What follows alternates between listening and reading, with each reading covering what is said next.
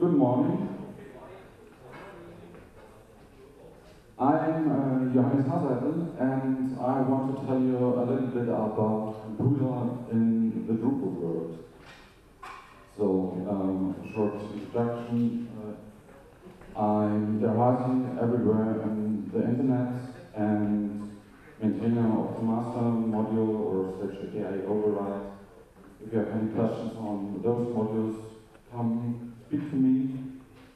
Um, some years ago, I founded um, Foul, Drupal only agency in Germany, and yeah, doing Drupal for, for more than 20 years.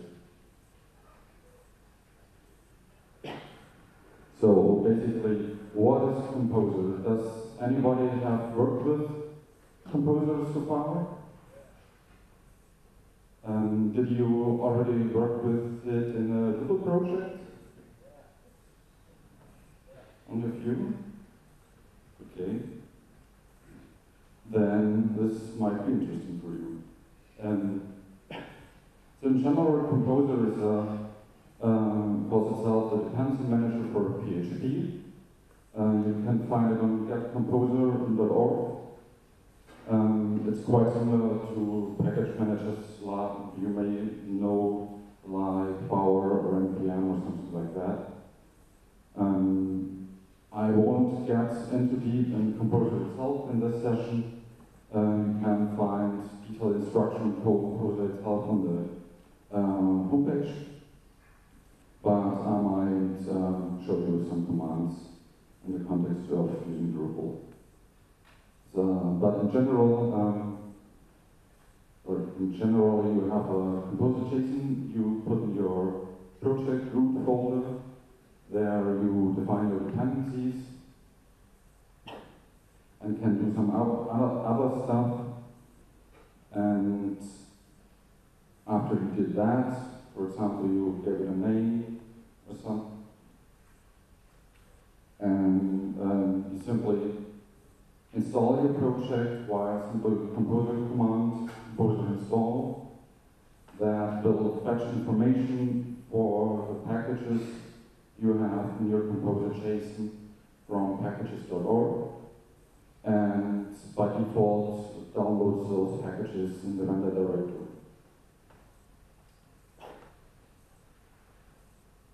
So it looks something like that simply type in composer install, it fetches all the dependencies. Um, here it's quite fast because it can load it from the cache because I installed it uh, right before in another installation. And at the end we can see where the libraries are located um, and the project dependencies are installed. A nice uh, thing about Composer is that you have a Composer lock that tracks your exact dependencies of every package you downloaded or installed. Um, if a Composer lock is given in a project, it installs the exact versions that are written down in that, and that um, improves the performance of a Composer install. So um, in projects where you want to make sure that the exact dependencies um, have been, or the project has been tested and used exact dependencies on something. Um, you should use the composer lock, and I recommend to, to always put in the version control. Um, there's um, Packagist I already mentioned. That's simply uh, a server. You can find all the packages like like Quick, Symfony, Doctrine, um, a lot of PHP libraries. I guess most of the PHP libraries nowadays uh, use um, Packagist.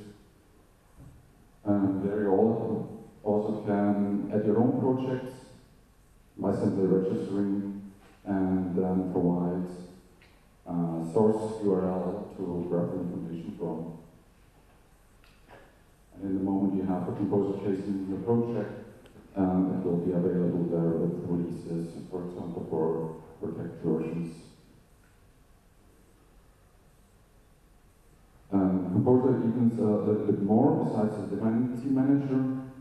Um, there's a built-in autoloader that supports PSR4 and PSR0, um, even class maps and files cut off, but I can show you that in a moment. And that's located at vendor slash autoload PHP by default. Um, you also have the functionality of um, providing some binary shortcuts for libraries you installed. Um, for example, the Toggl to Redmine project. Um, I providing the composer JSON provides Toggl to Redmine binary or command that you say, and when installing the project as a dependency of your uh, installing package as a dependency of your project, that command is located symbolink, symbolink in your vendor bin directory. So you always have um, one place to run the command. There are also script events, and you can provide custom commands like, um, for example, uh, you can react, react on a post-install command when, when the installation has finished of your dependencies. You can run some PHP script or some shell commands.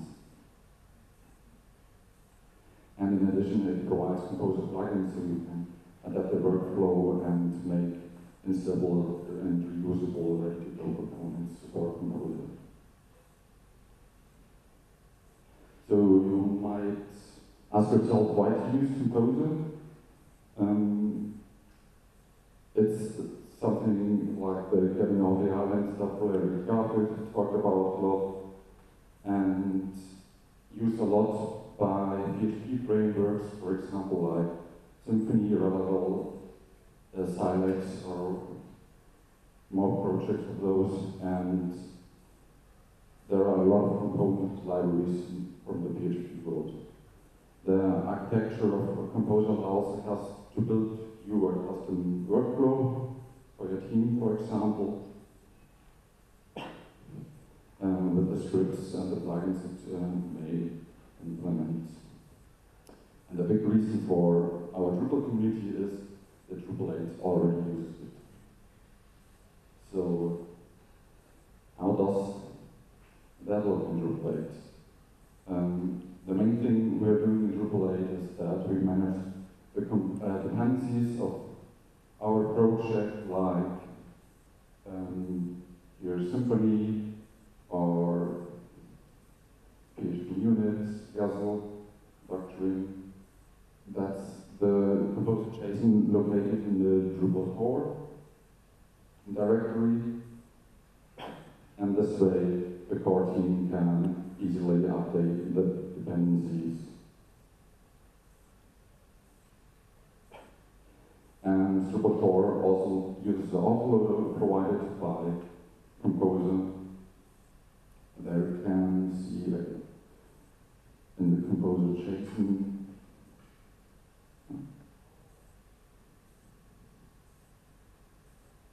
that there is the and it provides some um, directories for different components and directly implements the Drupal PHP file to be autoloaded and has some hard-coded classmap for performance reasons.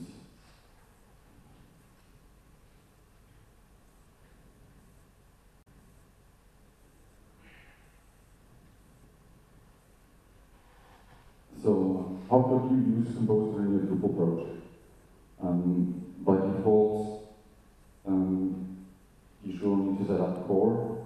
That's currently not a trivial task because um, you have to do some steps. At the moment, we are using the Drupal core subtree split by uh, Ante Stöckler. Um, the first we would do is uh, simply create a composer JSON Um, and add the requirements. In the first place, should add the Composer installers plugin, for example, or any other Composer installer that keeps um, that is needed to uh, put your um, core and your modules in the right directory, so Drupal will work. Because by default they will be put in the vendor directory. And Drupal core is a package of type 4, uh, type Drupal core, and therefore it would be um, put in the um, core directory by default with using the Composer, composer installer plugin. Um, in that approach, uh, for using Drupal 8 with your own custom composer JSON, you would, uh, in addition, to uh, copy the index.php and the htaccess files, and you have to update uh, the autoload page from the Drupal 8 distribution. So that that autoloader will load the autoloader from uh, the autoload PHP will load the autoloader from Composer that is located in the vendor directory next to the core, not inside the core. And with doing that, you have more flexibility over your front controller, the index PHP, and in addition, you also um, get the auto for every component you will add to your composer JSON. Um, adding, adding new modules and projects then it's quite simple, um, like in every composer project. Um, you might simply enter composer require Drupal slash micro and adding the version constraint for that. Um, micro is a Drupal module that is hosted in package, uh, that is what is provided in packagist.org.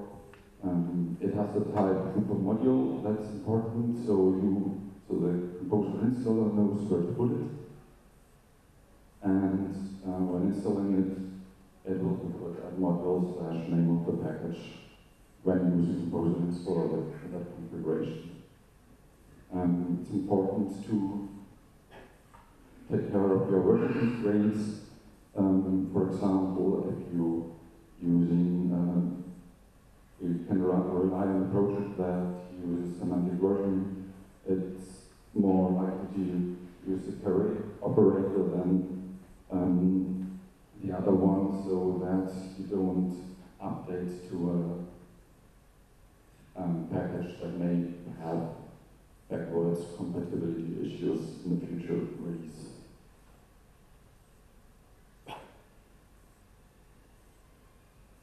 Um, currently, you would rely on uh, packagist.org having um, this package you want to download for Composer. Um, you can work around that issue by defining your own custom um, repositories and packages. For example, you simply can add a version control URL, and if there's a, a composer trace located in that project, it automatically um, parses that and makes the versions available that are located in that project. Or you can directly and um, create a type of package.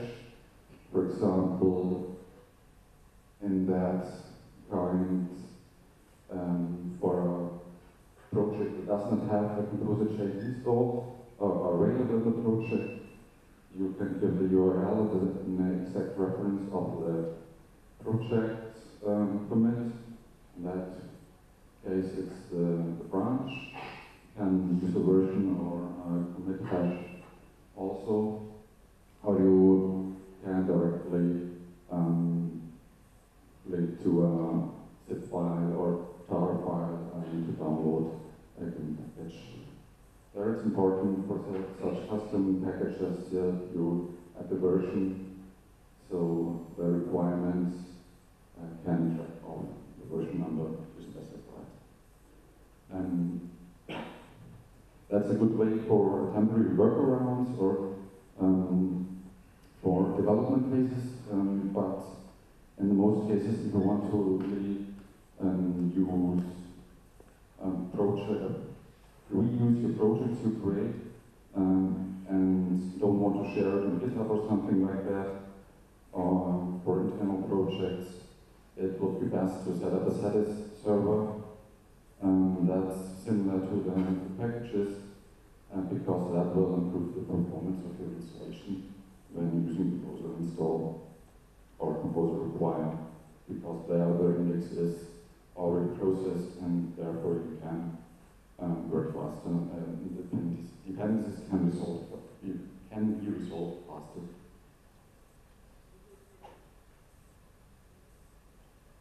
Um, but to work around this problem for Drupal projects, um, webflo and Bill created uh, the Drupal Packagist in the first place, and that's now available via Packagist um, Drupal there we have all Drupal projects registered automatically. We are pulling the information from Drupal.org and get those package information so you can easily uh, use that Packagist server um, to implement any Drupal project for Drupal.org.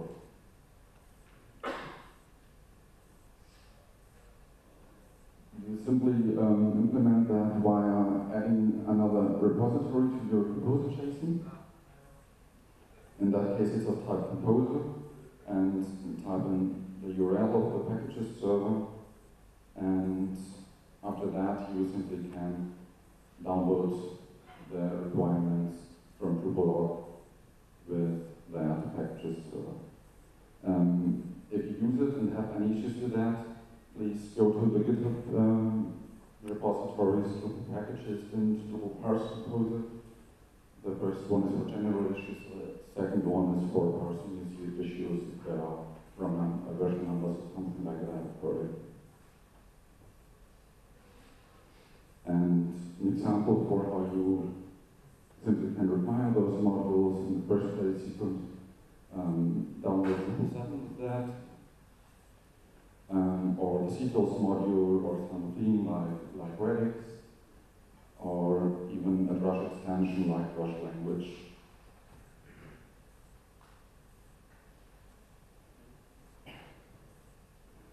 You even can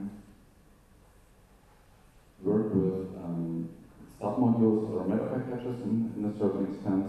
We are working on that right now to also make Drupal Packagist provide meta packages that, so for example, you simply um, can put a requirement on a submodule of a given Drupal project and it automatically um, will download the project itself. Um, in any case, you're creating your own proposal JSON, um, you might stumble upon a case where you want to avoid certain packages to be downloaded. In that case, there is the replace section of your composer JSON where you can uh, put all dependencies that are already implemented in your package. For example, in Drupal core, there are already um, those Drupal meta packages like um, Drupal, the, like all the Drupal modules. And for example, if you want to start to download jQuery via Composer, but or have any component that requires jQuery via Composer, but as you're working with Drupal, jQuery is already in the Drupal core, and you don't have to download it, you simply add uh, that library to the Drupal replace section so that it isn't downloaded additionally.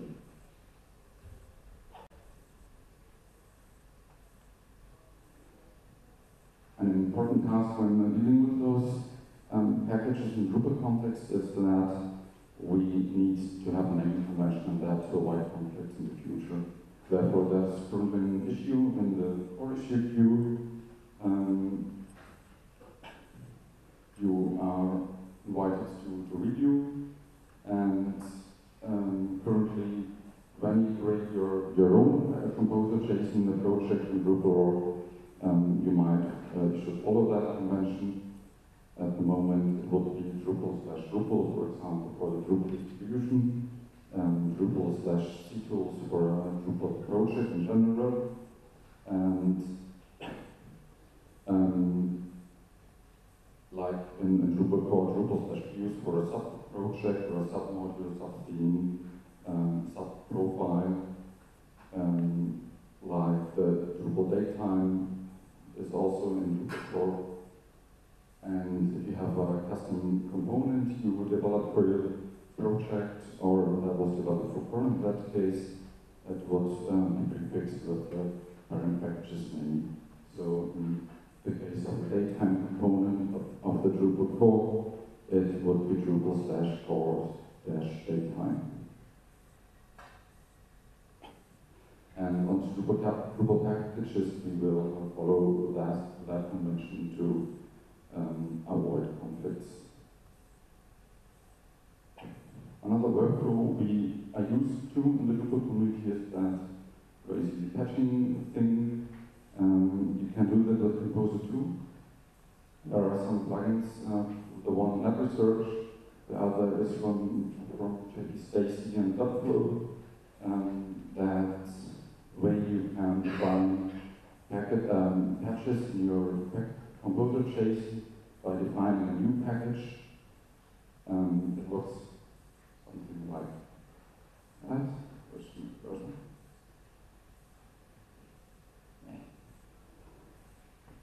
You define a new package and then you have this extra section for the patches. For example, I put the binary patch for the uh, 7.2 branch um, have a description of your patch and the URL to the patch file. And when installing or updating your um, packages, this patch will automatically be applied. If you add a new patch to your project, you will have to increase the version number at this place, and then the patches will be applied to Um, and that patches scenario, we might do a tiny bit of work to make the experience a little bit better. And for some cases, or a good alternative would be to, instead of creating patches or aligning patches, and creating temporary forks especially if you are in the use case of applying multiple patches, and that way you could easily rebase on that, for example, when a new version comes out. And what you shouldn't forget when using that approach, you have to um, add this package as a dependency that you defined.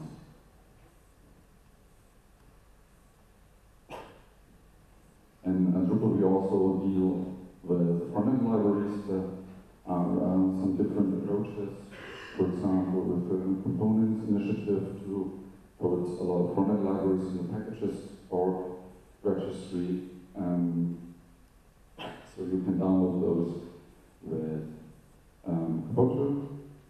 There's also a Composer Asset plugin that allows you to uh, connect projects from Bower or NPM but those approaches have one um, pitfall that it cannot handle multiple versions of the same library, although the latter one can. Um, for example, uh, if you want to use different libraries and different themes, um, a new version of jQuery, for example, or an older version of a new then um, you have to work around that and there's probably no solution Composer. But from my perspective, um, it even would be better to not use Composer for that and instead relying on the, those um, package managers that are built for those front-end libraries or used to be used with those front-end libraries like Bower or NPM. So that is uh, an example for the 777 a particle 7 file. Um, I will go through it and a few steps. Um, at first, you add your name to your project file um, in, in the case you want to share it. Can add a description, uh, can add the authors of the project. Then there are a bunch of custom repositories to implement. First, the Packagist, Drupal Packagist server, then some custom overrides for or custom components, in this case the Slick.js library, oh, image load, images loaded, uh, JavaScript library, or for that case we have some internal um, feature to use for our projects, we simply can implement it that way. Um, but we are will be moving to a Satis-alike setup for such uh, repositories in the future. Um, here we have a custom package definition. And then there comes the big require section with all the modules um, we use. That's not a full list of the project, but um, you can see that it might um, be a long list. Sure, we the modules. These two settings are quite important. Uh, if you want to use web releases, for example, you have can specify the minimum stability. In case you don't do that, Composer will not allow you to um, download dev packages uh, when they are part of a dependency. And with the prefer stable flag, you can say if there's a stable flag that uh, a stable release that um, is sufficient for the dependencies, then you use that instead of the latest step release. And at the end, you, or you can also you, um, add depth requirements that is important for developing your, um, that you can put your projects for the development phase, uh, and when you don't need it to um, don't need it in your production environment. Here's some example for the place section, and that is, um, I'm not really sure why we put drush drush here. Ah, drush drush, we put drush drush in that um, replace section because we are using Drupal slash drush as name uh, for drush and therefore um, this replace section indicates that um, every dependency that needs drush slash drush um, will not be recognized. There's some autoloader for our custom script that we use in the project for um, Composer stuff. In that um, case, for example, we remove files when we install, and uh, also have some local settings in a bit that will ask if, um, in the case the local dot settings PHP is not created, if it um, shall create it and, and type in your database uh, password and username. And here is, um, is a custom custom script, in this case, to, to clean up all dependencies, composer dependencies, to make the workflow better for our developers. So when there's any issue with dependencies in the installation, simply types in Composer dependency cleanup, and after that can uh, freshly install the Composer with uh, the dependencies with Composer installed. And at the end there are some um, configurations for the plugins. For example, I'm using custom installer by David Barratt instead of the Composer installers um, because there you can use custom types um, you define and have some um, vendor option to put it in, for example, um, to do some in your modules folder. In that case, our modules will all, uh, all the Drupal modules would go in a module slash Drupal folder, not a modules slash config folder because of that syntax.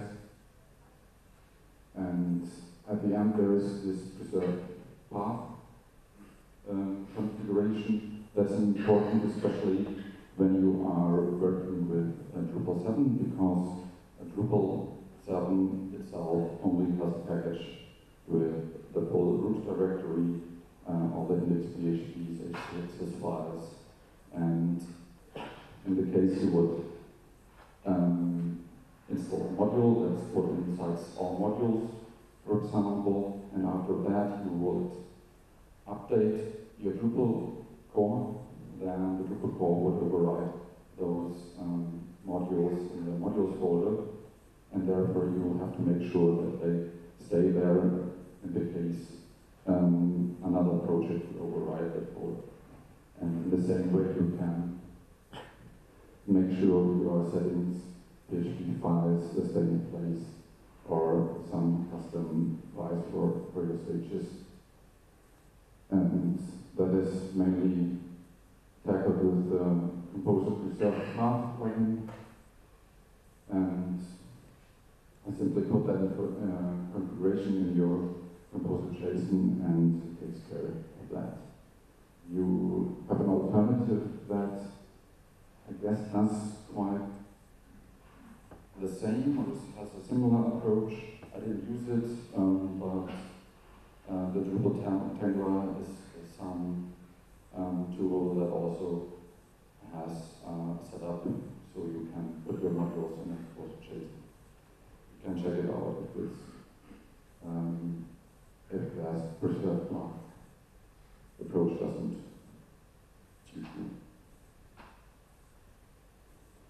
So general, that's very all a lot of complicated and uh, or in general you have to keep in mind a lot of stuff and the kickstart is maybe quite long so therefore there's an option to create project templates. In the case of our Drupal Composer, um, we created a project template for Drupal 8 and Drupal 7. You can find it in GitHub. And then simply can um, start your project with typing in Composer create, Drupal slash, uh, Drupal Composer slash Drupal project, and the version number, and then it uh, will provide you with the default configuration for your site. Um, we are still working on that and want to improve on that, so that it's maybe uh, a good starting point for, for most of the projects and provide some best practices. And the good thing is you can create your own project templates.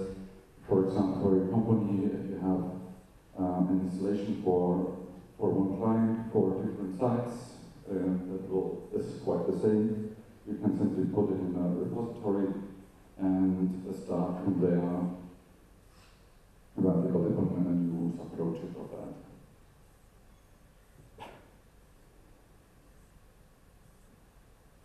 So with Composer you are handling this whole downloading stuff and uh, creating a project stuff and in that case it can come in mind to simply replace uh, Drush with Composer. Um,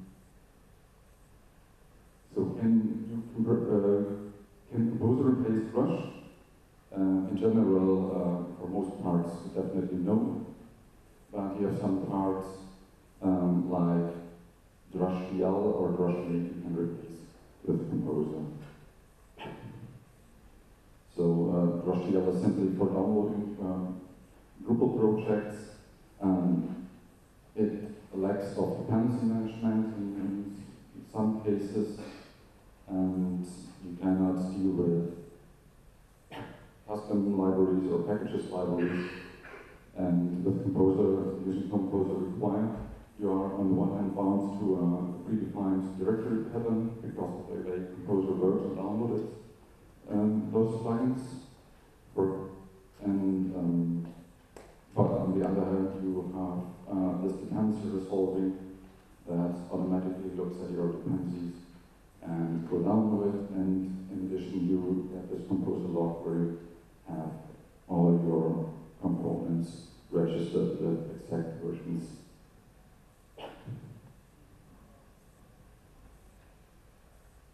Uh, important in the case you are using Composer for managing your dependencies or downloading those dependencies.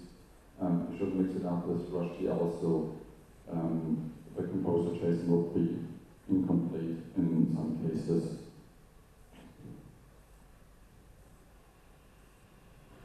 You also can replace DrushMake, um, or mo yes, most of the parts in, in most situations. Um, there's a document on Drupal.org that was written by Casper G.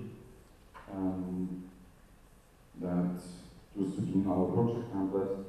There we can find a comparison or, or approaches to um, tackle some tasks you are doing DrushMake with Composer. So if you're interested in replacing your DrushMake file, uh, simply go there. There's also a Composer Generator module uh, available on Drupal.org. That's a Drush command that uh, works quite like DrushMake generate and will create a composer JSON um, out of existing project. It uh, doesn't, I'm not sure if it uh, fits the Drupal project template we are hosting in GitHub, um, but maybe we will join the effort in that and provide some best practices in that direction. So, um, in general, the community did a lot of work um, to make Composer work, um, especially um, for our uh, Drupal project approach.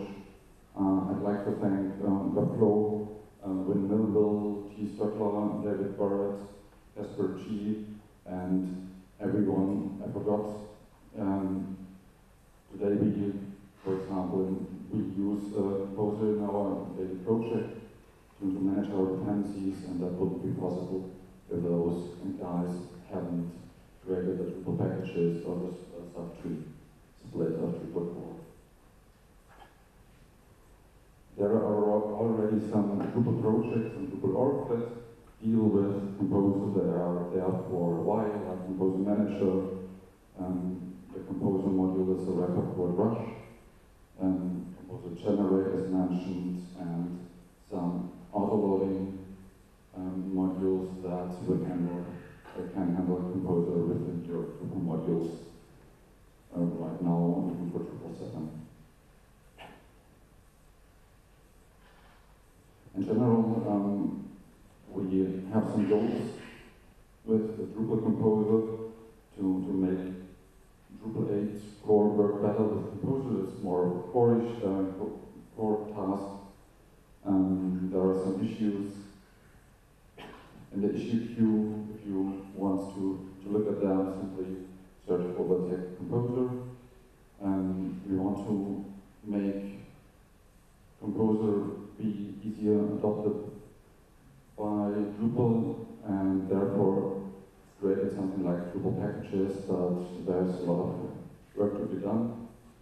And um, on Drupal Composer, the Drupal project, that Composer, uh, GitHub project, we want to uh, find um, best practices for working with Composer in the project. So mainly there are a lot of tasks to be done. If you all want to do, want to help, feel free to join. Um, for example, testing Drupal Packagist, uh, try out your own project, and find an issue in our issue queue um, when you stumble upon problems. Um, we might update the packages Drupal Composer uh, to contain documentation or something like that completes only a fork of the original packages and looks the same, therefore it might be a little bit um, distracting. Uh, we might provide meta packages for the submodule um, issues and um, maybe you will create more flexible installers um, because of the restrictions that current installers have. And one issue in the Drupal context, uh, even of course when using Drupal DrushMake, is that in some cases you have missing version um, numbers in your .info files. Um, that will lead to problems if any module requires um, specific versions of a module, like um, with the libraries module. To solve that, there's a sandbox in Drupal or by, by Benjamin Forkhammer that's called Composify, um, where we try to figure out the problem. So that's simply a module you would enable, and that will add additional information to your info file looking in the composer lock file so that you have the sufficient information to for your project. Um, we might improve the patch workflow and uh, look at those composer plugins to make them um, more sufficient to the uh, Drupal workflow. And um, handling different versions of the same package might be an issue when we are um, dealing with a multi-site setup. Um, that's something we have to look at too. And uh, so front-end libraries and assets stuff is has to be looked at too if you want to manage that in a certain extent with, the Composer. And there sure are a lot of more issues we might have to tackle. So feel free to, to test it out and file in case you have any problems. There's a meta document in the groups, uh, Drupal groups um, composer, composer group, um, where we try to uh, we keep we try to keep the document updated with uh, discuss, relevant discussions or documentations or issues. Um, so if you want to have a, a rough overview of the project, simply go there. And we also have this uh, nice domain drupal-composer.org as a starting point where you have links to all important sections of the project. So feel free uh, to join us and try Composer out. And as if you have any issues, um, come speak to us and we will make it work. Thank you for listening and if you have any questions, feel free to ask.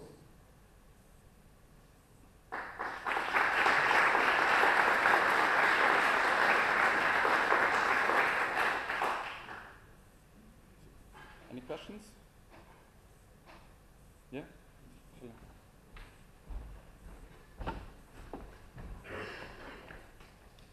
Currently, many for projects using Composer rely on Composer Manager. Is there any way to uh, make the both work together? Um, in the case of Drupal 8, it would be um, easy because you can work with the root composer JSON that automatically um, provides the autoloader for, for the whole Drupal. In case of Drupal 7, I didn't try it out yet, but um, it should work because Composer Manager is only a module that registers additional libraries. So, um, but there may be work to, to not download um, the package twice via uh, Composer Manager and the original composer.